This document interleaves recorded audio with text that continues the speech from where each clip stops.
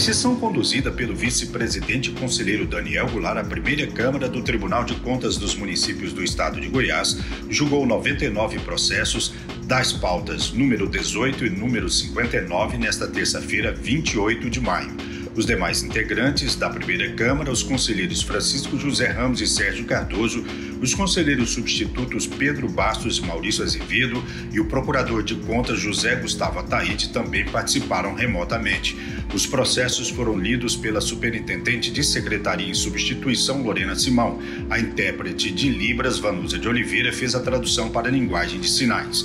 Foram aprovados concessão de aposentadorias, editais de concurso público, processo seletivo, balancetes, dentre outros. TCM, o Tribunal a serviço da sociedade.